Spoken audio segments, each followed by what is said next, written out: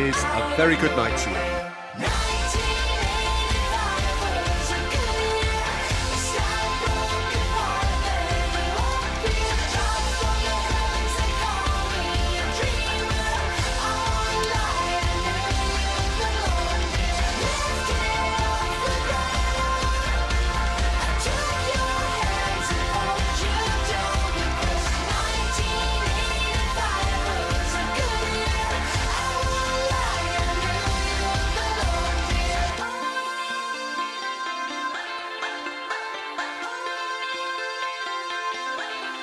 Oh,